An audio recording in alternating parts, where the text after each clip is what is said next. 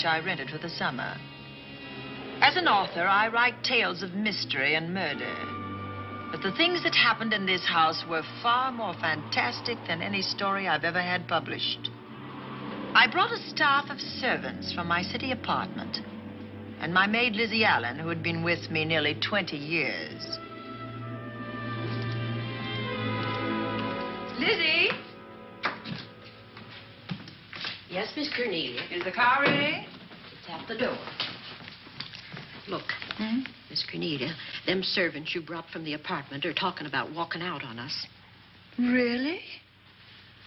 Well, I know they don't like it here, but I didn't uh, think it was that bad. Well, they've been hearing things about the killer that the police call the Bat and the murders that he committed here this past winter. Now people are saying that he's back again. Well, how can they be sure of that? Has he committed another crime? No, not yet, but that ain't saying that he won't. Here's something else. You've heard about the bats they have here. Animal bats, the kind that fly. Yes, yes. Look what it says in this magazine. This is a report from the state health department, and it says some of them bats is rabid. Well, And that ain't all. Now there's a rumor going around that it was the bat himself, the killer, I mean, that released the rabid bats in this neighborhood. oh, that's ridiculous. Well, the housekeeper, the cook, the butler, and the upstairs maid don't think so. Well, I can't help what they think. If hysterical nonsense like that can scare them out of their good jobs, it's their loss, not mine. Come on, Lizzie, I've got to get to the bank.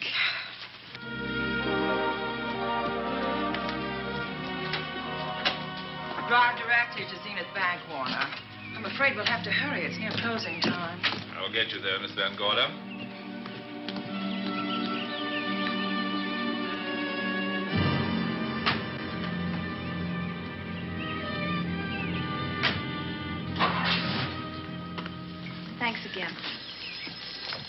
Miss Van Gorder. How do you do, Mr. Barry? How are you? I'm very well, thank you. You remember Lizzie Allen? Of course. Hello, Miss How Allen. How do you do? So you're spending the summer with us again? Yes, yes. I've leased the Oaks, the home of your bank president, John Fleming. I heard you had.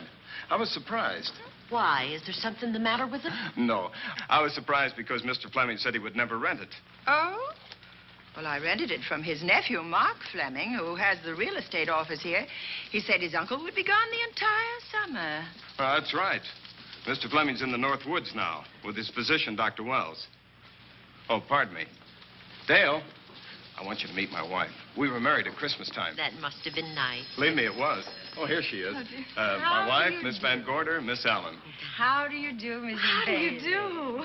Cornelia Van Gorder. Yes. Oh, well, I've read every murder mystery you've ever written.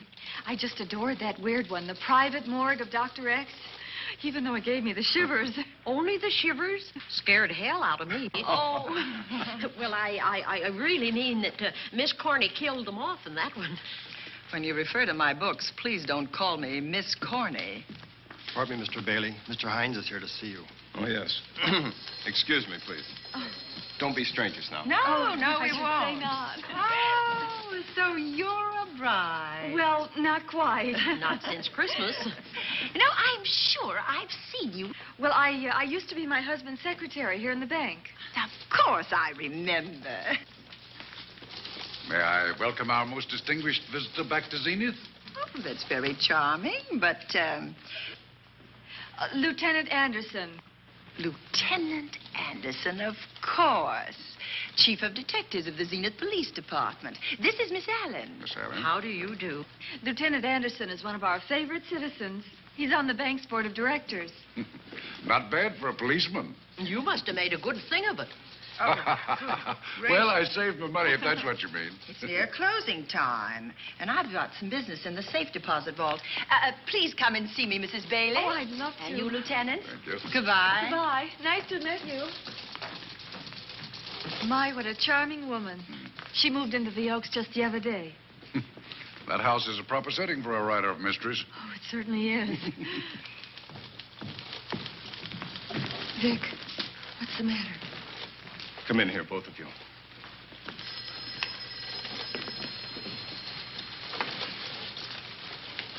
Andy, we're in trouble. Wendell Hines came in to pick up $350,000 worth of bonds that we were holding as collateral for a loan. They were kept in our special vault. Mr. Fleming and I are the only officers of the bank who have access to that vault. So? The Hines bonds are gone. That's not all. Other negotiable securities are missing. From what I can gather, short of a careful check, the bank has been looted of over a million dollars worth of securities. You'll have to notify Fleming. I wish I could talk to him. Unfortunately, he and Dr. Wells are deep in the woods. They can't be reached by phone.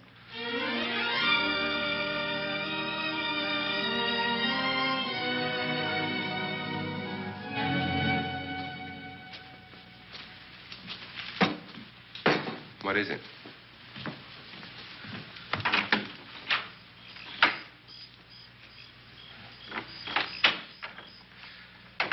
I thought I heard someone on the path coming from the lake. Had an idea it might be that guide of ours. Oh, Sam won't show up until morning. It's a 20-mile canoe trip from here to civilization. Five will get you ten. Sam has a message for me. I thought you told him at the bank not to bother you. I did. But they'll bother me. Doctor, Yes, John. what would you do for half a million? Anything short of murder. Why not murder? Too messy. Too great a risk? For half a million? Yes. I pinched a million from the bank. Well, I'm not kidding. I embezzled it. Not that I think you wouldn't do it if you thought you could get away with it. I got away with it. I'm not talking about currency. I took negotiable securities that could be converted into cash. I have the cash in tens, twenties, and hundreds. Well, I'm your doctor, not your lawyer. Why tell me this? You'll find out why. Who's going to take the blame for the robbery? Bailey, the cashier. They'll never suspect me. I like Bailey. Well, so do I. I love the guy. I gave him his first chance. He has a lovely little wife. Charming girl. Was the best man. Where's the million? In my family's tomb in Zenith. In the crypt with my father's casket. I don't buy that, John. No? No. You forget that I had you in charge when you were a very sick man. When you raved in delirium. And I heard you talk about a hidden room. Now, where else could you put a hidden room except in that mansion you built? That uh, white elephant you call the Oaks. Look, everyone knows I have a bad heart. Now, who would doubt it if you wired the bank directors that my heart had failed? That I had fallen from a great height here in the woods, and that I was badly smashed up. You could uh, ship the body back for burial and uh, instruct them not to open the casket due to the condition of its contents. Well, you realize, of course, that uh, we'd have to have a body to put in that casket, which means that we'd have to deal with an undertaker at this end. Of course. Well, where do we get a body? Couldn't we provide one of our own? How about Sam? Sam, our guide? Sam weighs about as much as I do. He's practically a hermit. He wouldn't be missed for a long time. The local undertaker would know him. Not if we made him look as if he'd been in a serious accident. But if Bailey's going to take the blame, why'd he have to do this? A jury might acquit him. In that case, I'd be a logical suspect. I could disappear, of course, but it's safer if they think I'm dead.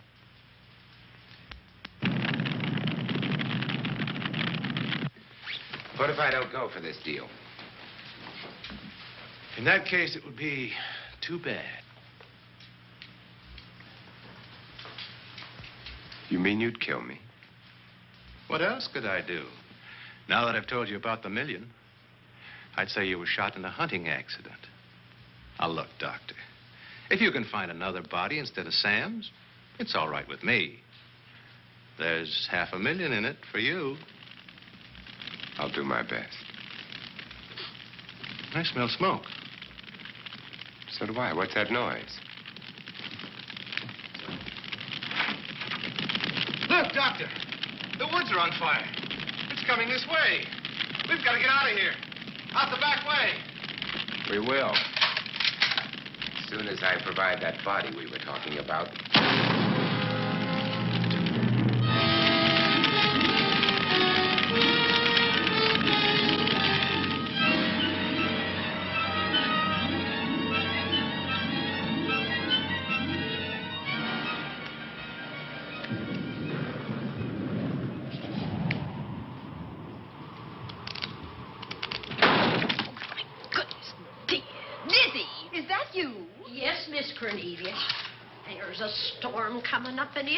And it's gonna be a snorter.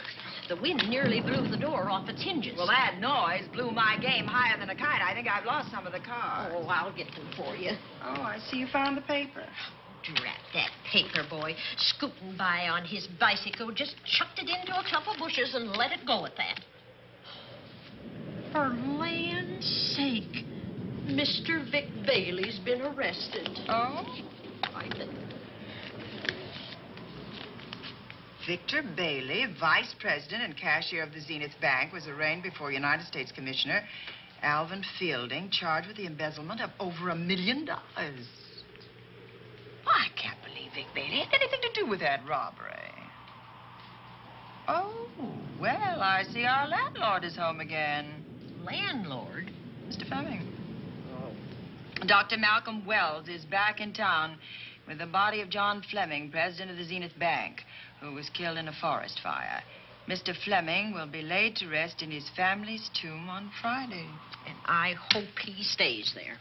Well, why shouldn't he? Well, this is his house. And ever since he died, some funny things have happened here. For instance? The housekeeper, the cook, and the butler said that they heard strange noises at night. And the upstairs maid swore that she met a man without a face coming up the back stairs. Oh, so that's why they quit and left me to run this place without a staff. They didn't tell you, Miss Corney, but the truth is they were scared to stay. But you're still here, Lizzie. Haven't you seen anything? No. No, and even if I had, I ain't afraid of ghosts. They're afraid of me. Honest, Miss Corney, a spiritualist told me once that ghosts was allergic to me. But, but this Bat feller they keep talking about in the paper, I, I guess he'd be different. No, I don't think you'd have the same effect on him. Oh, What are they trying to do? Drive people away from this part of the country? Why, what does it say about the bats? Specialty seems to be killing women. My goodness, two of them in one night. All his victims died the same way, like their throats had been ripped open with steel claws. That's a charming little caper. I'll have to try it sometime. In a book.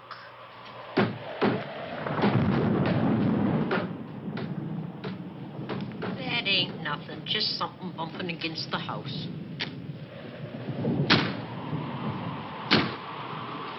That's just the wind banging a door. Pay no attention to it. Listen to this.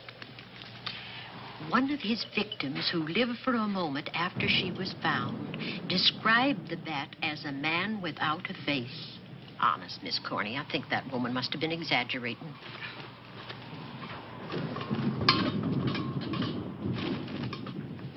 That's just that heavy tapestry at the top of the stairs. I know, I know. I've heard it before on a windy night. That sounds as if there was someone on the stairs. I know there isn't. At least there shouldn't be. There ain't. Them's just the noises you hear in any old house on a windy night. It says here that the bat never leaves no fingerprints. That's understandable. Having no face, he probably has no fingers either. Lizzie!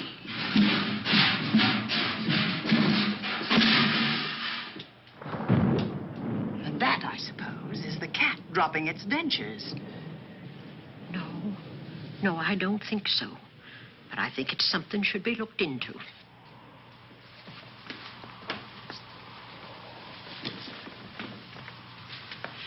Now, who chucked him down here? The wind, I hope. There must be a window open up there. No, Lizzie. Let him lay. Let him sleep it off. I, I hope the power lines don't go down, put the lights out. Now, we'll check the windows in the living room and draw the curtains, and then we'll go to bed. Yes, ma'am.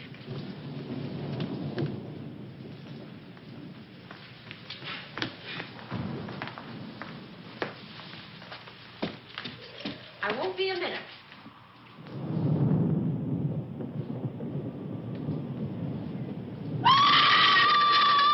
Gordy! Oh! What? What's that? Oh, when I went to get the tape, I turned the latch off. I forgot to turn it on again. He's out there. He was coming in. He might have got you. Oh, but he didn't, and he's still out there, thanks to you. Now, you hurry now, and we'll call the police. No, no, I won't leave you, Miss Corney. Are you okay? Yes, ma'am, I'm. I'm okay. Okay.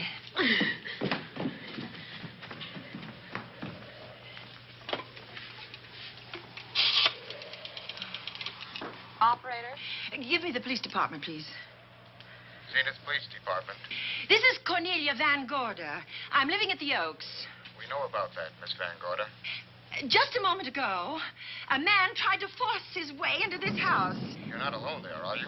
What about your servants? Well, I have none except uh, my chauffeur, and he's away. He won't be back until the morning. Now, there's only two of us here tonight, and we're going to lock ourselves in my room. Now, uh, if if any of your men see anything, will you have them call me? I'll send officers over there right away. Oh, thank you very much. Come on, Lizzie. We're going to sleep in my room.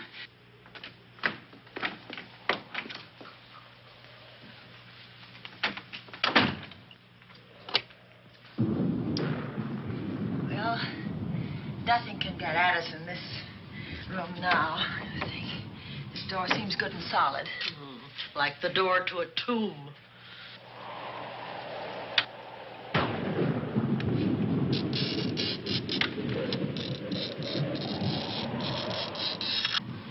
Uh, I think that couch will be comfortable. There's some extra bedding, you know. Yes, ma'am. closet. Let's see now.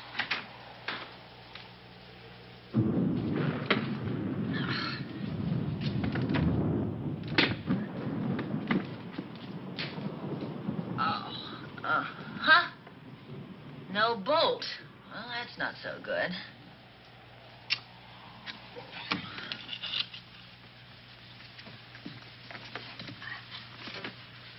Oh, what's that for? That, my good woman, is a booby trap. If anybody tries to open this transom, this will be knocked off, and we'll hear it fall.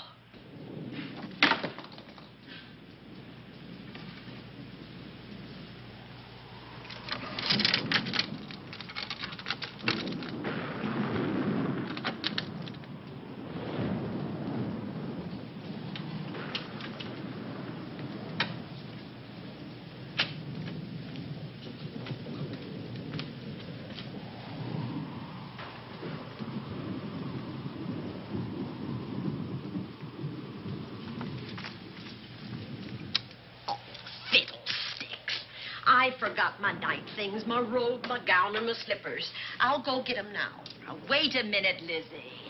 I'll go with you. Now, don't you bother, Miss Cornelia. My room's just down the hall. Lizzie, I told you to wait. It's all right. I'll only be a second. Get in here. Get in here.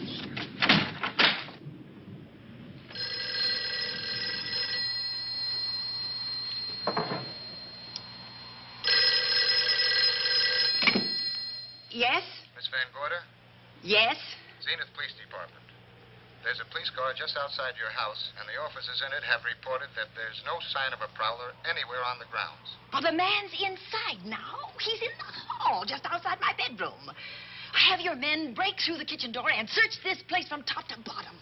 Okay, Miss Van Gorder. Sit tight. I will. I have a gun, and I know how to use it.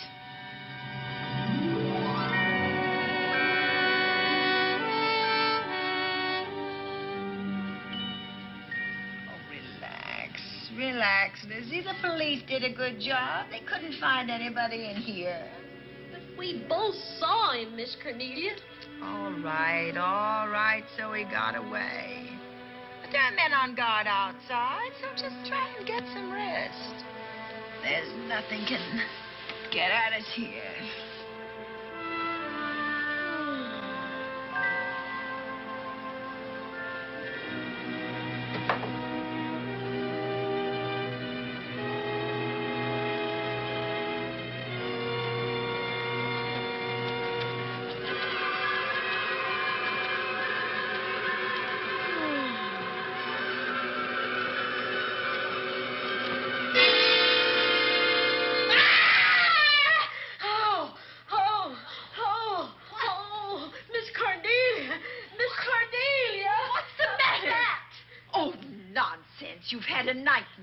I did, but there was a bat in it, and it bit me. And it, it flew in that closet. Oh, good gracious, Lizzie, you're right. Oh. Oh. Oh. Oh.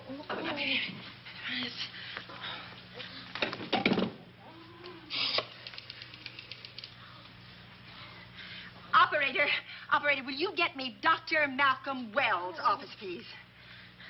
No, I don't know his number, and I have no phone book up here, but this is an emergency. Will you connect me with his office, please? Oh, dear, oh, dear. I'm going to get the rabies. Hello? Hello? Uh, Dr. Wells' office? This is a call service. Dr. Wells is out at the moment, but if you'll give me your name and number, I'll try to locate him. Well, this is Miss Van Gorder of the Oaks. My maid has just been bitten by a bat that may be rabid, and she must have treatment as soon as possible. And I was told that Dr. Wells was the nearest physician. I'll try to find him for you, and if I can't, I'll send you another doctor. Oh, well, thank you very much. Oh, he's out on a case. Oh. Oh, I hope it's not a delivery. A baby, I mean. They can be terribly complicated.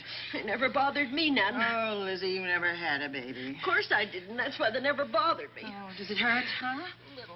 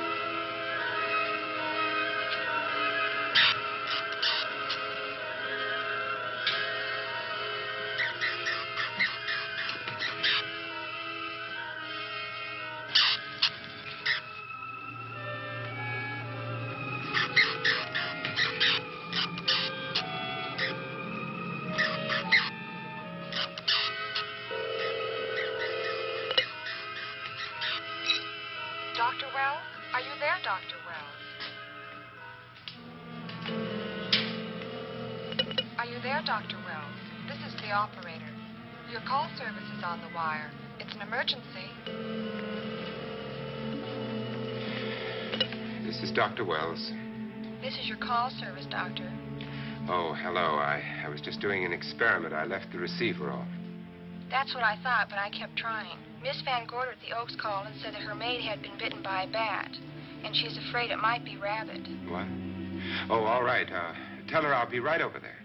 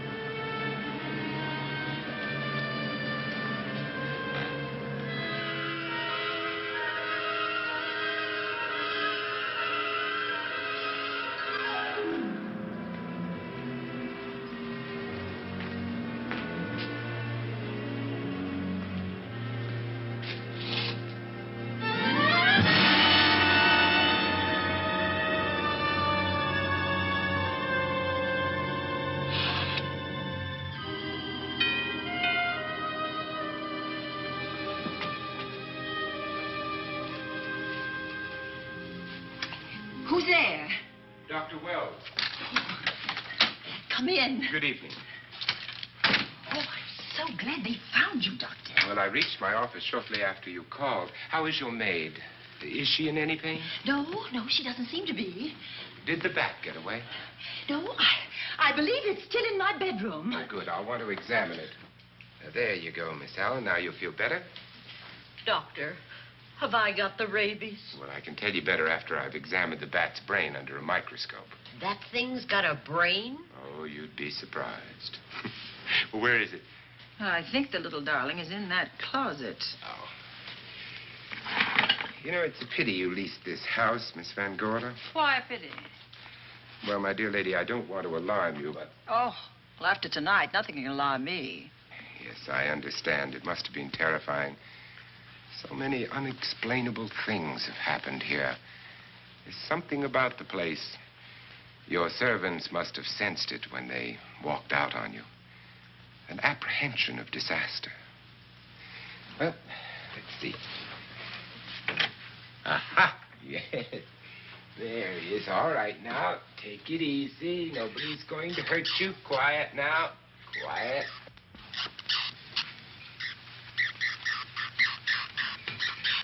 And he looks quite normal. Doesn't seem to be sick at all.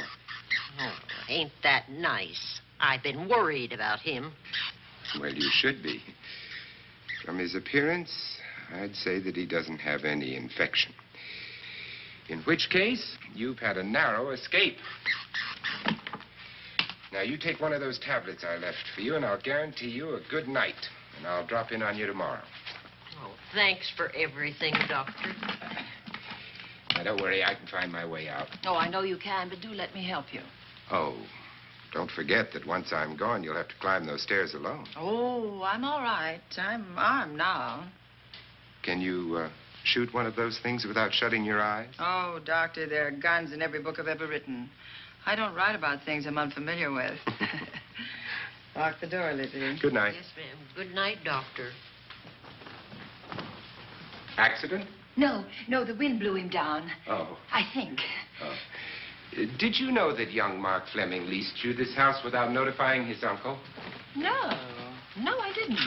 Well, it doesn't matter now. John Fleming is dead, and Mark's his heir. But if John were alive, he would warn you to leave here, Miss Van Gorder. Really? Yes.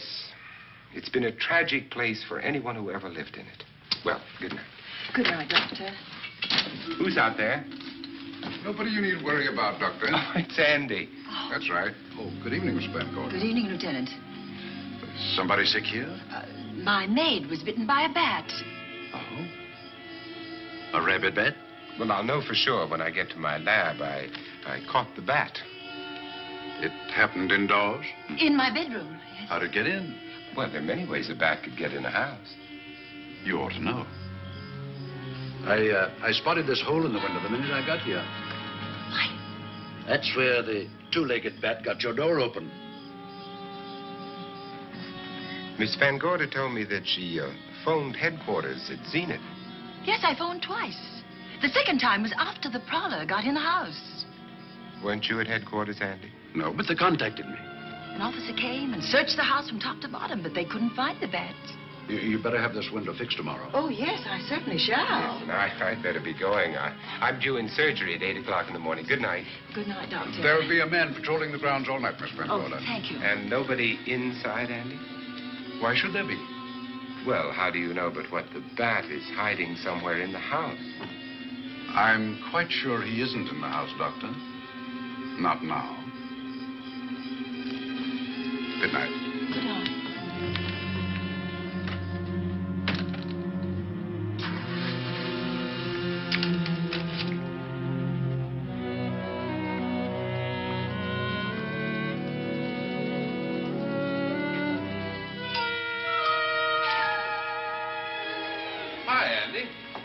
Mark. Well, congratulations. Real estate business must be picking up. New office, new furniture. New deal. How do you like it? Ah, looks expensive. Are you squandering your inheritance? Oh, I haven't got it yet. Well, the paper says John Fleming left his entire fortune to you. Funny thing about that entire fortune is that we can't find it. No kidding. Oh, all Uncle John had in his bank account was a couple of hundred dollars. And his safe deposit box was empty. If we don't find that missing million, mine will be empty, too. How come? Well, all my savings were invested in Zenith Bank stock. The examiners won't certify the bank is solvent until those stolen securities are found. So the stockholders have voted an assessment that'll wipe some of us out. It's a since those securities have been converted into cash. And if I can't find that cash, I'm sunk. Well, where are you going to look for it, Andy? Here in Zenith. Your uncle wouldn't take a million on a hunting trip, would he? You suspect Uncle John? Why, Andy, he founded the Zenith Bank. That'd be like robbing the family tomb. You think he wouldn't? Well, besides, Vic Bailey's fingerprints are all over the vault. Now, they didn't find any of Uncle John's fingerprints. Because he wiped them off. Can the defense prove that? They'll try to. Judy Hollander, Bailey's secretary, is a defense witness. And they believe her testimony will have a powerful effect on the jury. Oh, well, she has a powerful effect on me. Judy's a doll. Here's the book you mentioned, Judy. It's your newest one. Yes, it's just been published. You can have that copy if you wish. Oh, it's a first edition and you've signed it. Yes, of course. Thank you so much. Uh, may I serve tea now, Miss Van Gorder? Yes, please do, Warner. Thank you. Well, I see you've engaged new servants. Yes, of course. Well, how did you persuade them to live in this house? Well, Jane Patterson, my new housekeeper, knows this house better than you do, Doctor. Oh? She worked for John Fleming. And Warner was my chauffeur. Chauffeur turned butler? Incredible. He can play any part at a moment's notice.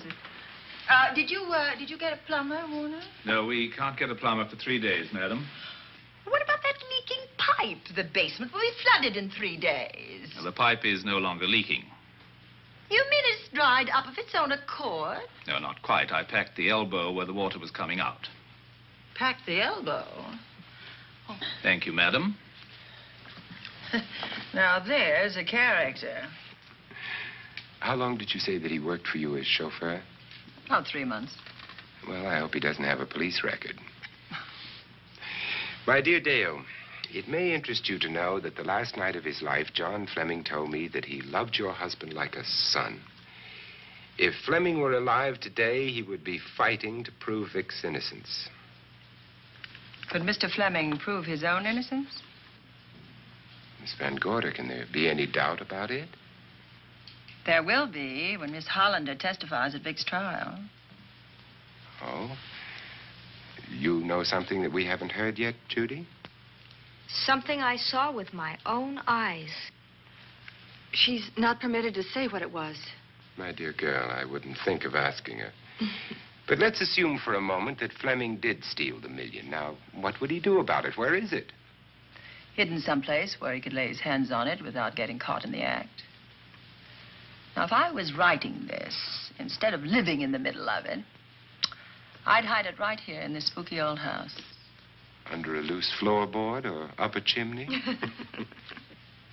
If Mr. Fleming had the nerve to steal a million, he'd make his plans well in advance. I'd say he'd prepare a place to hide it. Possibly when this house was being built. Now, I rented this place from Mark Fleming, his nephew. I wonder. I wonder if he'd have the floor plans. I'll ask him. Yes. Lizzie, will you bring Mrs. Bailey the phone? Oh, you ask him now. His number is Summit, uh, is it Summit 7537? Oh, thank you, Lizzie. Summit 7537. Not bad, eh, Andy? That means new business. Now, you see, somebody wants to buy a house. Mark Fleming speaking. Oh, hello, Dale. Well, hang on a minute, honey, while I see if I have him. It's Dale Bailey, all excited. Miss Van Gorder wants to know if I have the floor plans of the Oaks. Now, what would she want with the floor plans? Well, she suggested to me that your uncle might have hidden the bank loot there. Are the plans here? Well, somewhere in the house itself. Wait a minute, there is a place where Uncle Johnny might have kept those blueprints. What place? Well, I heard him talk about it a good many years ago. I can't be sure of the exact location. Anyway, I don't think the old boy had the guts to steal a million. But if I find those plans, I'll let you know, Andy. Hello, Dale. Look, honey, I I haven't seen those plants since I was a kid, but I'll come over tonight and maybe we can find them. Thank you, Mark. We'll expect you. He seems to think they're here in the house somewhere. He's coming over tonight. Well, that's good. Dale and Judy are my house guests for the weekend. Uh, would you like to have dinner with us tonight? Oh, no, thank you. I, I couldn't. I still have a few calls to make. You know, if Judy's testimony is going to clear Vic Bailey and implicate John Fleming, others may get the idea that there's buried treasure in this house. Don't even mention your testimony until you're actually on the stand. Oh, I won't. That's a smart girl, Judy, and a very lovely girl. Well, good mm-hmm. afternoon, ladies. Goodbye, Doctor. Dr. Come on, girls, let's go.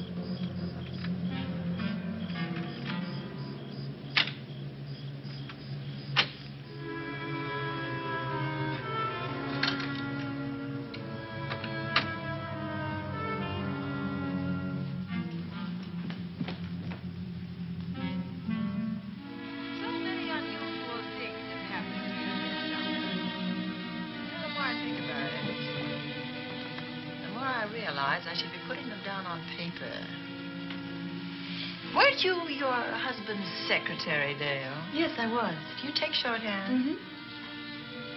Well, my dear, if you'd like to have your mind occupied, I want you to work with me while I write the story of this fantastic criminal, the Bat.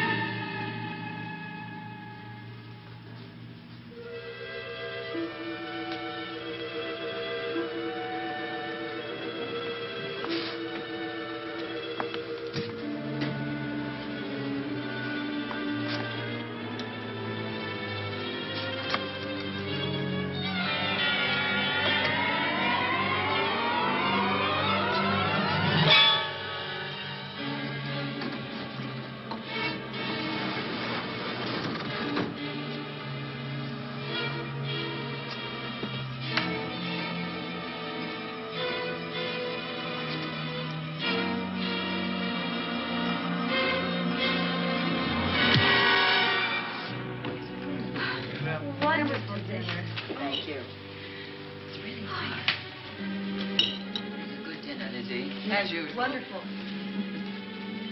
Oh, what a lovely piece of silver. It's an original, isn't it?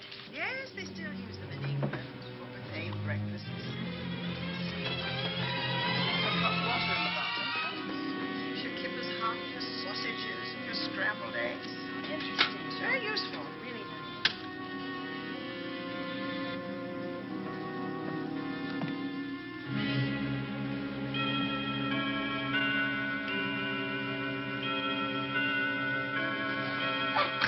Hasn't struck the hour in the last ten years, if I'm to believe what Mark Fleming told me.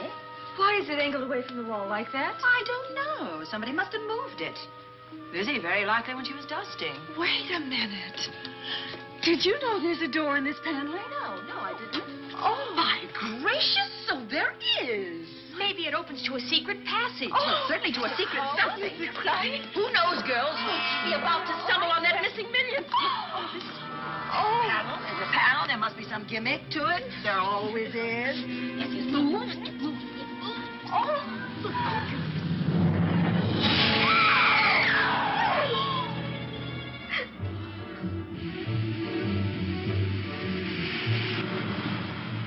Calling car 11. Calling car 11. Proceed to the Oaks in Zenith Township immediately.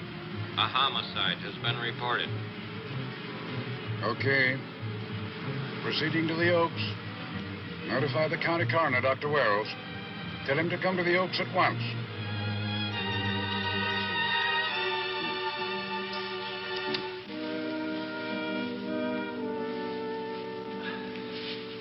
Horrible. As if his throat has been torn by some creature with uh, fangs or claws or... That's his sign. We found it on the others he killed. I'd hoped those reports that he was up to his old tricks again were pure imagination, but apparently they're based on fact. He's come back. Back to the scene of his kills. Yes, that's who I mean. That's who did this. The bat. Who found Mark? We all did. And his Dale and Judy and I. Lizzie was in the dining room. This is my new housekeeper, Jane Patterson. You know, she worked for John Fleming. I know her. Where were you, Mrs. Patterson? In the kitchen, cleaning up. I cooked the dinner tonight. Did you know that the secret closet was here? No. It was behind the grandfather's clock. Well, it was I who found it, really. Noticed the clock had been moved and the door wasn't quite closed. I'll get it.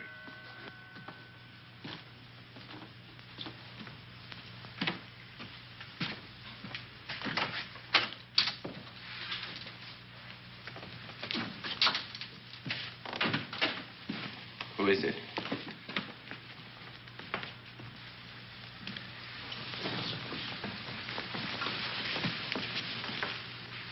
Mark Fleming.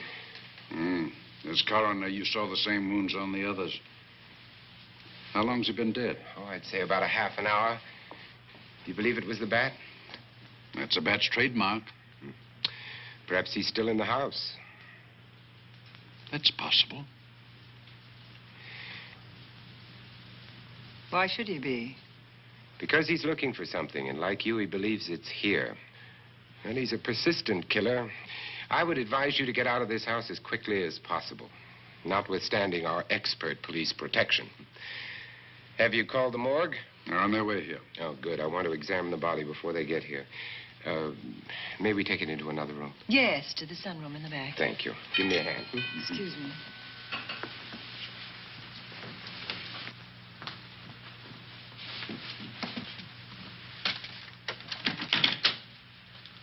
Oh, Warner, where have you been? Well, it was.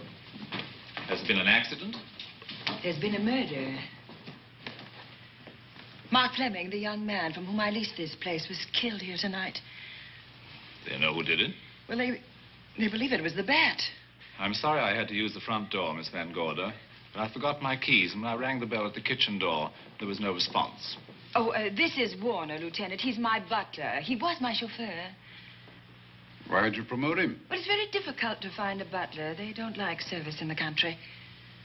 Have you been a butler before? I've served in many capacities, sir, but this was my night off, and I forgot my keys. I heard that part. What time did you leave the house tonight? Oh, about 6.30, I had dinner at Wiley's Roadhouse. Hmm, Can you prove where you spent the rest of the evening? I can try. Try hard. And don't leave the house. I'll get to you later. Very good, sir. I shall be in my room, Miss Van Gorder, if you need me. Yes, Warner. Surely you don't think he's... Warner and I've met before. I can't recall where or when. But I will.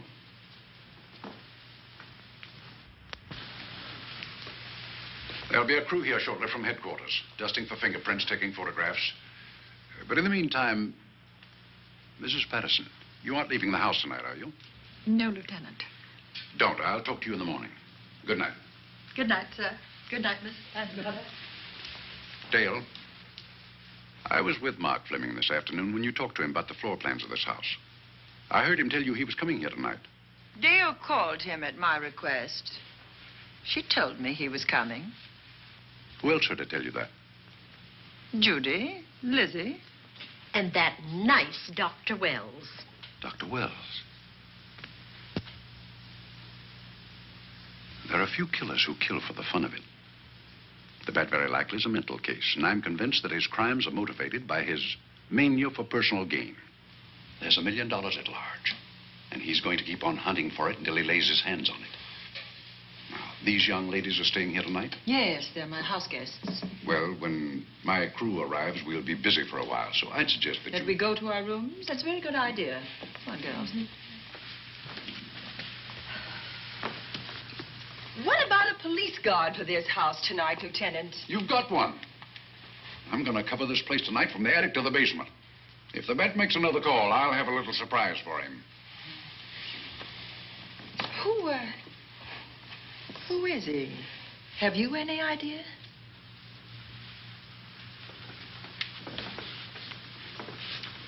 He could be anybody. So far, there are clues to his identity, but nothing we could take before a jury. I am afraid we must look higher than the criminal world. He may be a merchant, lawyer, doctor, scientist, one of the pillars of his community. Ladies, lock your doors tonight. Stay behind them. I promise you you'll be safe. Good night. Good night, Lieutenant. Good night.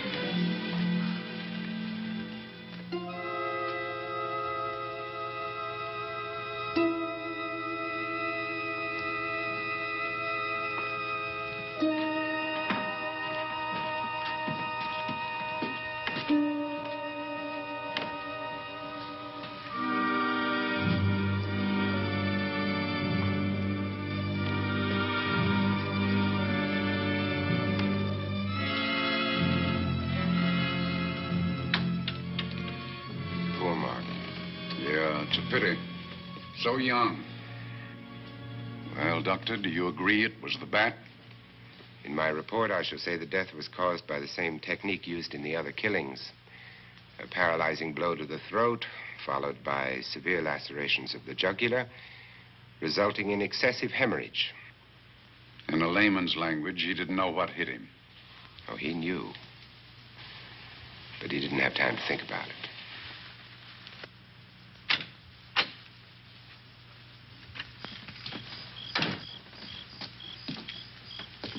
You staying here tonight, Andy? Well, until I check the doors and windows, but uh, I'll be back bright and early in the morning. Neither snow, nor rain, nor heat, nor gloom of night stays these couriers from the swift completion of their appointed rounds. A lot of people are due for a shock when I close this case. Yes, I'm sure they are. Good night, Andy. Don't get hurt. Good night, Doctor.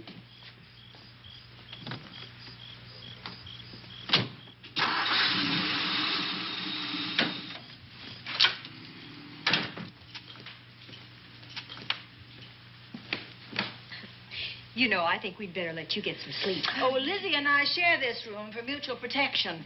You know, one night, a storm blew the wires down, put the lights out, and I went out the next day and bought a half a dozen of these things. You better take one with you, Dale. Oh, thank you. We'll go across the hall now. Are you sure there's nothing else you need? Oh, no. Quite sure. We'll be all right. Well, if anything bothers you, you just sing out, and two strong women will come to your rescue. oh, nothing will bother us. Not with Andy on the job. No. Well, good night. Good, Good night, night, Miss Van girl. Gorder. See you in the Don't worry, everything will be all right. Good night. Good night.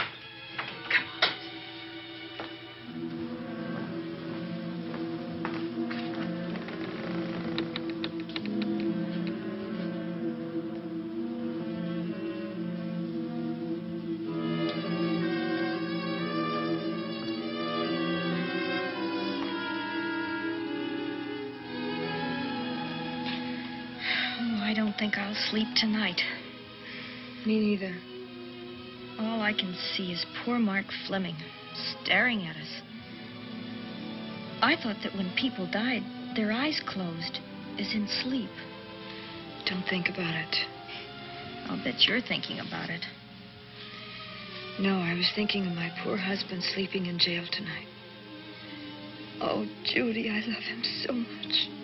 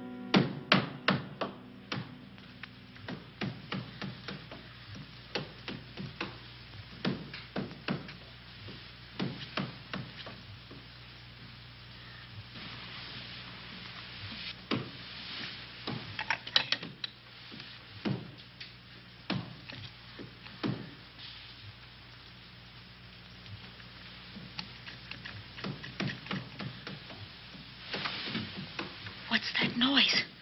Oh, I don't know. I kind of fell half asleep. For a moment, I thought it was something from a dream. It's somewhere in the house. Yes, on the floor above. Not directly over us. Probably a room overlooking the driveway.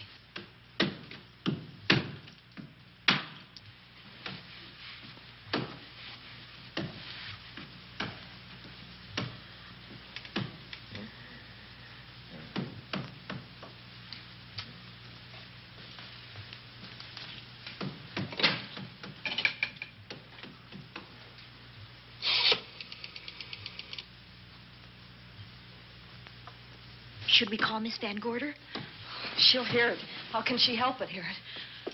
Oh, besides, we don't want her to think we're a couple of hysterical women. Oh, I'm about to become one. Oh, I dear. had it for one night. Dale, you're not going out in that hall. I want to know what's happening up there. But Lieutenant Anderson said if we stayed behind our locked doors, we'd be safe. Vic isn't safe locked up in that jail. Oh, Suppose that stolen money is in this house. Mark Fleming seemed to think it was. Maybe that's what somebody's looking for. Oh, for heaven's sake, don't you hear that awful noise up there? Now, Libby, you've just got to stay awake. The house phone and the outside phone wires have been cut, and we can't get help. Where's that policeman? Oh, I don't know. Something must have happened to him. Now, go on, get on your robe. Oh, Dale, please don't go up there. I've got to. Think what it could mean to Vic. Now, you stay here. Oh, no. If you go, I go.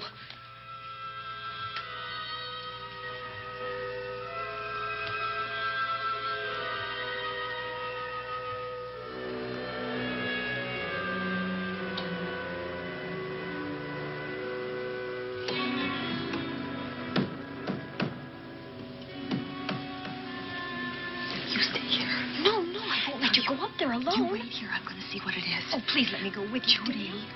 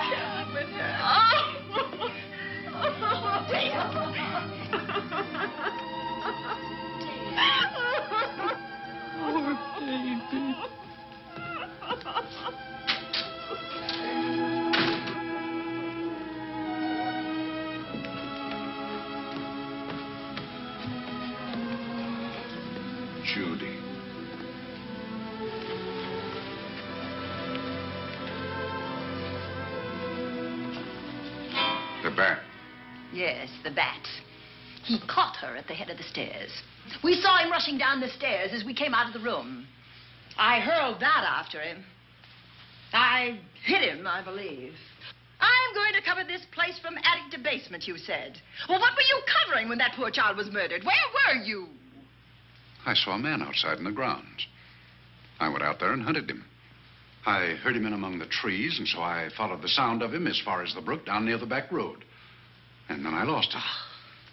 I'd rather give my own life than have this happen to Judy. But I told you to stay in your rooms and lock your doors and stay there. What was she doing at the head of those stairs? That was my fault. They heard a strange noise. Heavy pounding in one of the rooms on the third floor. We all heard it. I wanted to see what it was. Judy, I wish you wouldn't let me go out by myself. I made her stay on the balcony. What about your new butler? Oh, well, he's in his room, I suppose. Oh, Mrs. Patterson. Oh, yes. Did you know what happened here? No, sir, but I heard the screams. I went to call Warner. We have rooms on the same floor, but he wasn't in his room. His bed hasn't been slept in. If Mrs. Patterson heard the screams, Warner could certainly hear them. You're quite right, sir. I heard them. Oh, you did? And where were you? Outside in the grounds.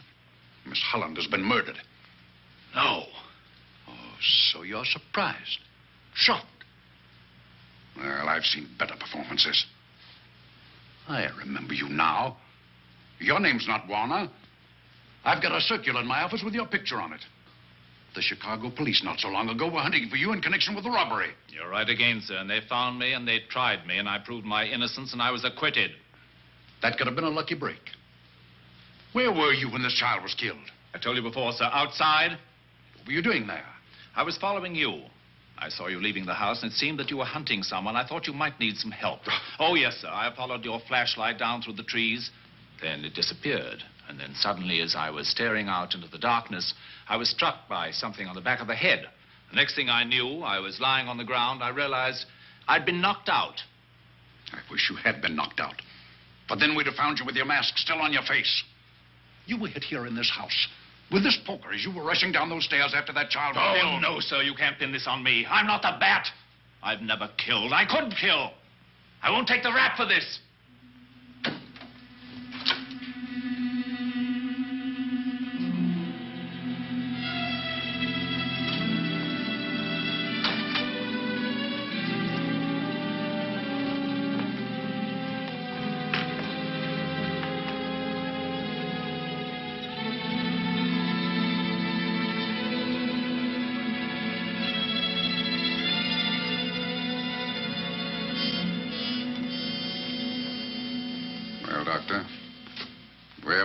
Case for the county coroner. You see, the bat came back. Why did you come back, Doctor? Well, I, I had an accident uh, about a mile down the road. The right rear wheel of my car came off, and I plunged into the ditch. This was the nearest house, so I came here to call for help. I thought I'd find you around, Andy. Physician, heal thyself. You must have been hit by something on the back of your head. I told you I had an accident. So you did, Doctor. So you did. I could be wrong. But maybe I'm not. We shall see. All right, Dale, let's start a new chapter.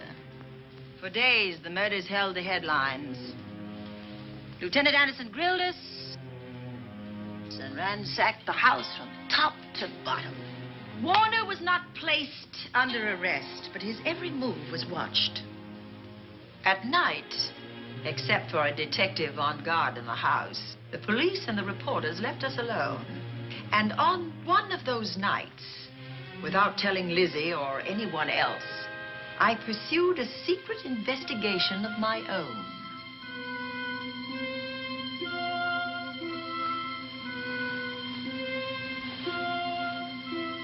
It was in an empty room on the third floor where we kept our trunks and other things.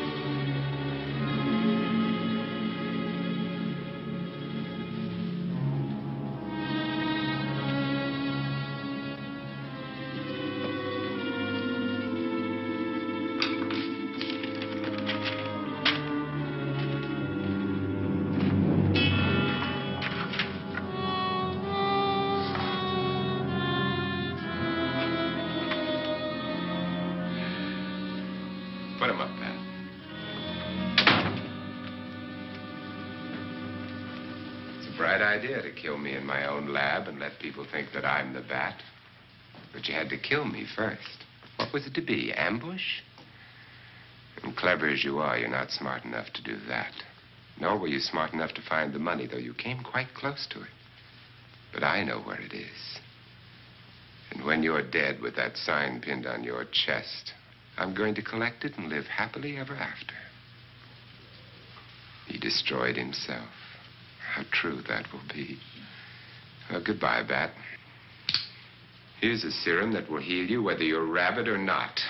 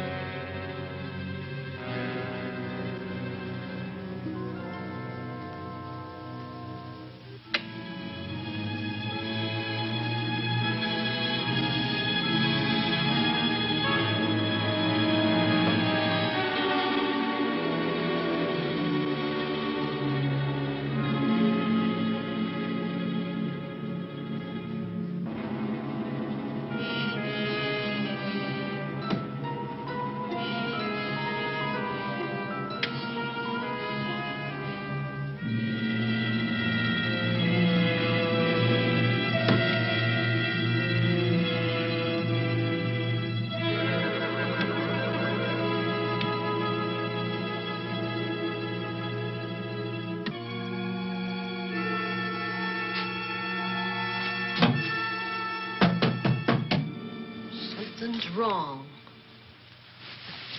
Something's wrong.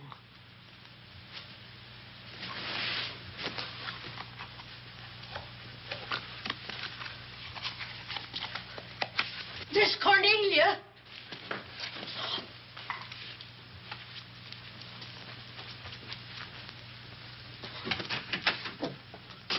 This Cornelia.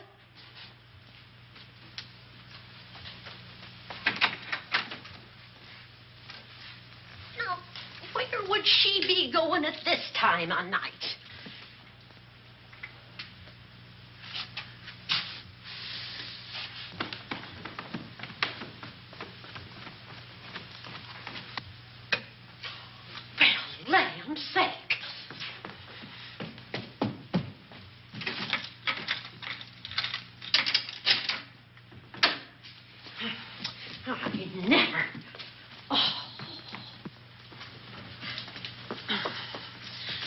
Mr. Davenport. Mr. Davenport. Oh, a fine thing. The door unbolted, the chain off, and you asleep on the job. Wait till Lieutenant Anderson hears about this. Come on, wake up. What's the matter with you? I don't know. I don't know. My head hurts. My whole body's numb. Here, here, take a sip of this. Try to snap out of it. I'll be back in a minute.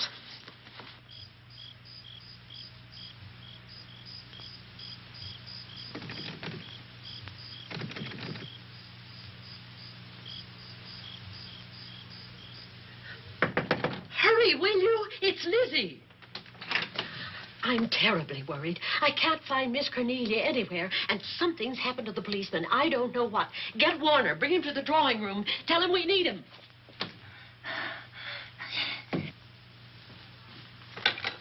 Are you all right now? Yeah, I'll be all right in a minute.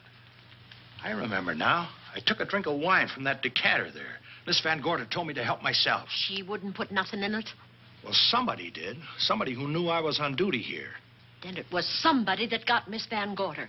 I can't find her anywhere. Upstairs, downstairs, or in the basement. I told the housekeeper to get Warner. Lieutenant Anderson will want to know about this. Hello. Yeah, this is Davenport at the Oaks. We've got trouble here. Well, for one thing, I was drugged. Yeah. But I must have been knocked out because the maid tells me Miss Van Gorder is missing. Well, you better call Anderson and let him know. He's not at home. Well, where is he? Out on a case? What case? Dr. Wells. What else did they tell you about it? Oh, hurry, will you? We've got to find Miss Cornelia. Okay. Lieutenant Anderson is out on a case. Dr. Wells was found dead in a room next to his garage, murdered. Dr. Wells. There's something queer about the killing of Wells, but headquarters won't talk about it. Lizzie, Warner isn't in his room. There's no sign of him anywhere. And I was supposed to keep an eye on that guy. Where's Miss Cornelia? That's what I want to know. Wait a minute. Didn't you say that the chain and the bolt were off of the front door? I certainly did. Well, maybe Miss Van Gorder went outside. Oh, she never would. We better look. I can't, I can't breathe. There's no air.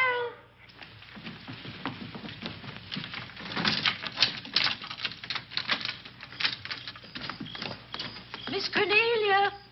Oh, Miss Van Miss Gorder. Cornelia. Miss Cornelia. Miss Van Gorder. Look. There's a light in that room on the third floor.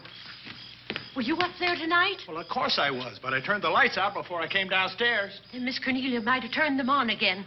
That's why we're going to look first. Come on.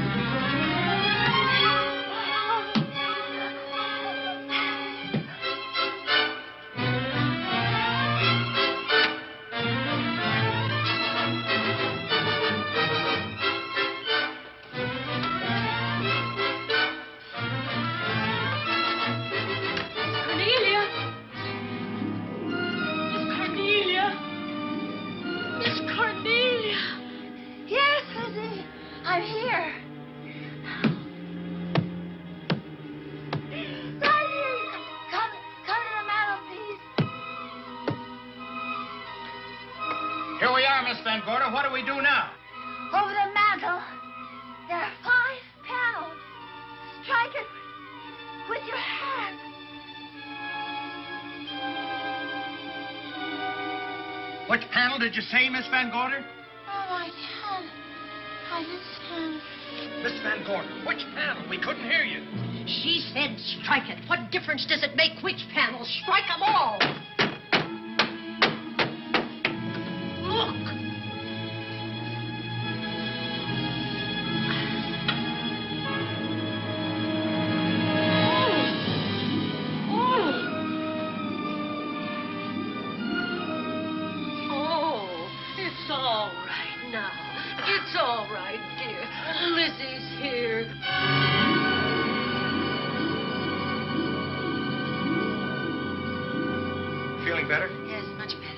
Take you to your room. Oh, no, you won't. I'm going to stay right here. I, I'm quite all right. Oh, how blessed it is to breathe without an effort. You know, no one knows how sweet the air can taste until someone shuts it off for a moment. That room is just like a box. When the mantelpiece closed, it seemed like all the air was drawn out of it. Look, there it goes again. Let it close. I can open it from in here. There's a control panel behind this blueprint. Electric motor under the trap door here. Once the door is open, you can keep it that way. I believe that the fireplace in this other room opens the same way. And it does. I tried to find this, but I couldn't find it. Yeah, it's back at this blueprint here. Yeah, it's, it's quite a setup. Too bad we can't open that safe in the same way. Take an expert to crack this box or a shot of nitro. Oh, maybe, maybe that's what the bat had in mind. Could be. Seems he's on the prowl tonight. Miss Van Warner has disappeared. And Dr. Wells has been murdered. Dr. Wells. Lieutenant Anderson's on that case right now. Well, does he know what happened here tonight? They got word to him. He'll be here any minute.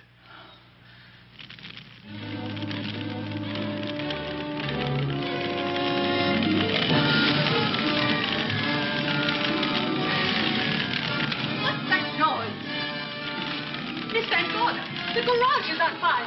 Scott, look at that. Lizzie, put that light out in the other room. Now, where are you going? To to report the fire. Well, you just stay right here. But Miss Van Gorder, the garage. Well, let it burn. You watch the stair. Can't you see that fire was set to get us out of the house? Out of the house? Were you talking about the... Yes, yes, I'm talking about the bat. Now that the lights are out, he'll think his trick has worked, and we've gone. He'll be here any minute. Well, so will Lieutenant Anderson. I hope so, but the bat will be here first. And he'll kill again if we're in his way. We've got to be as clever as he is.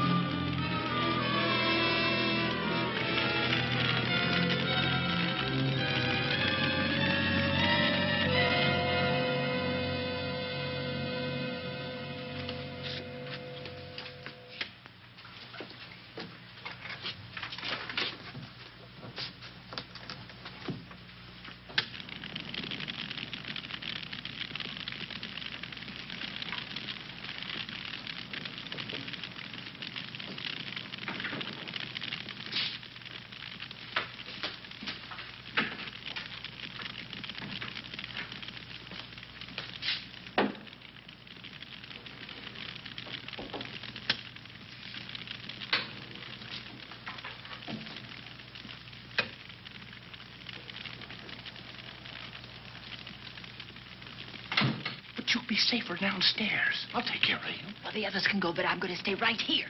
All right, but get out of sight.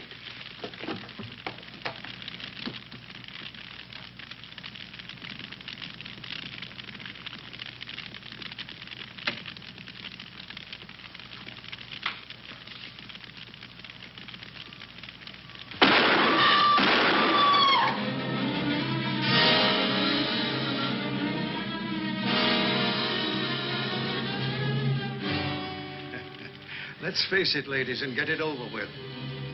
Others have seen my face before they died, but I'll have to deny you that pleasure. This would make a good scene for your book, Miss Van Gorder, but I'm afraid you'll never write it.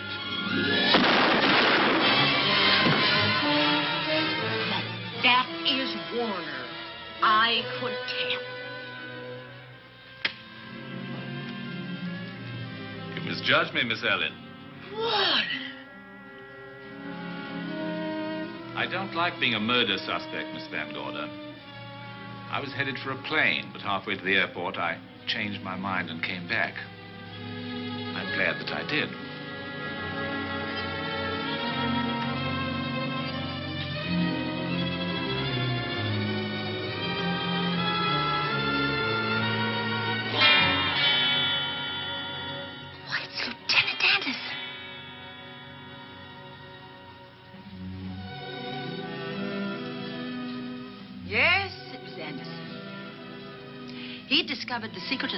Room and was waiting to get into it and open up the safe. We found the money in it. A little over a million in tens and twenties and hundreds. Good old Andy. With all his ill-gotten gains invested in bank stock. It's rather a clever way to hide stolen money. In the open, as it were. And so respectable. But don't try it. No matter how clever you are, you can't hide murder.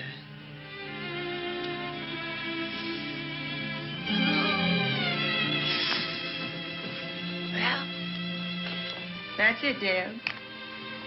That's the end.